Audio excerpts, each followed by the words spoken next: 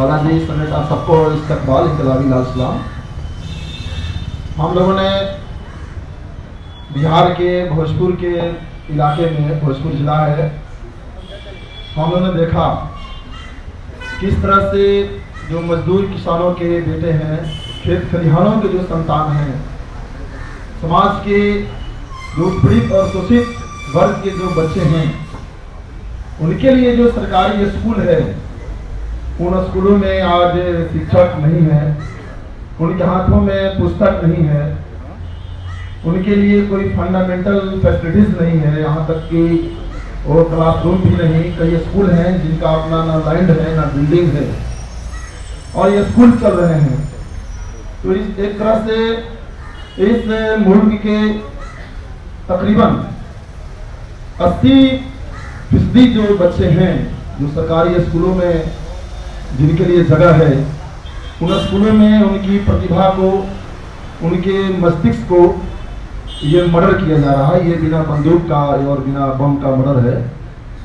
और इसलिए हम लोगों ने स्कूली बच्चों, अभिभावकों को लेकर के,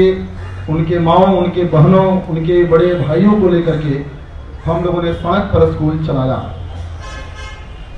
हमने देखा कि इस गाँव में जो डिवीज़न है वो सांप्रदायिक विभाजन वो जातिवादी विभाजन तो राजनीतिक पार्टियों ने जिस तरह से गाँव में लोगों की, मजदूर किसानों की, आम आवाम की एकता को विभाजित करके रखा है, हमने देखा कि इस आंदोलन में उस विभाजन को तोड़ दिया गया और सभी लोग अपने बच्चों के शिक्षा और भविष्य के लिए सड़क पर आए। वो इनकलाबी नौजवान सभा और छात्र संगठन ऐसा के ये बैनर से युवा ब्रिगेड के बैनर से हमारा आंदोलन चल रहा है। हम लोगों ने डीएम के सामने भी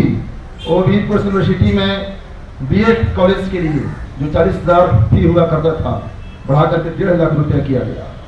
बीएड के सामने भी हम लोगों ने बीएड कॉलेज लगाया और ये शिक्षा की आवाज़ को जो ज़मीन से उठ रही है, जो खेत खलिहानों से जो आवाज़ उठ रही है, वो आवाज़ कहीं लाल किले तक नहीं पहुँचे। वो आवाज़ कहीं पार्लियामेंट तक नहीं पहुँचे इस राजधानी में नहीं पहुँचे। उस आवाज़ को दबाने के लिए पूरी हमारी टीम पर ट्वेंटी वन केसेस नीतीश सरकार के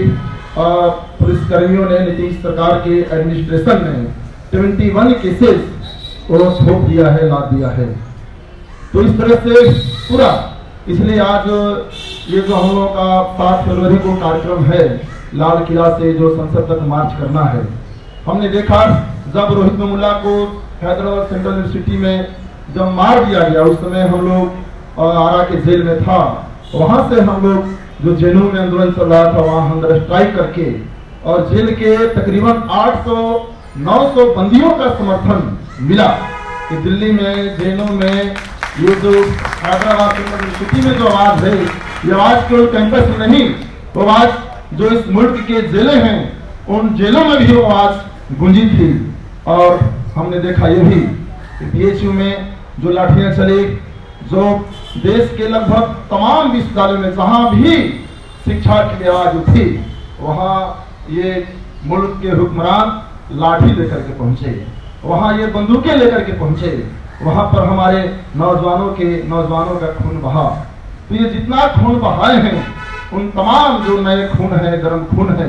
वो केवल यंग इंडिया नहीं चलेगा इस मुल्क के न्यू ब्लड भी चलेगा लाल किले से पार्लियामेंट तक वो केवल यंग इंडिया नहीं चलेगा, बल्कि भगत सिंह और बाबा साहब अंबेडकर सावित्री बाई फुले, बहादुर शाह ज़फ़र और जमुल्ला खां का वो विचार, वो सपना, वो शहादत भी चलेगा लाल किला से पार्लियामेंट तक और इसीलिए आज वो जितना तुम चला लो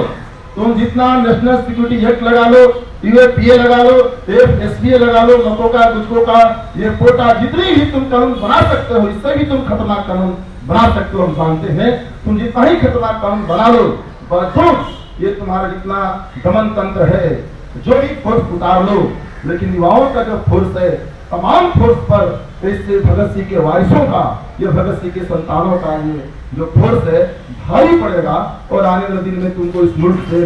जाना होगा और हम आगे बढ़ेंगे। यंग इंडिया आगे बढ़ेगा और यंग इंडिया के जो ये दुश्मन है, यंग इंडिया को जो दबाना चाहते हैं, मारना चाहते हैं ये एक दिन इतिहास के कूड़ेदान में होंगे और हम लाल किले पर होंगे, पार्लियामेंट पर होंगे, देश के खेत खलिहानों में होंगे, खान खदानों में होंगे और यही बात कह करके आपको फिर से इंकलाब इस्लाम इंकलाब जिंदाबाद यंग इंडिया। अगर अभी तक आपने चैनल को सब्सक्राइब नहीं किया है तो प्लीज़ सब्सक्राइब कीजिए और ताज़ा अपडेट पाने के लिए बेलाइकन को दबाना ना भूलें।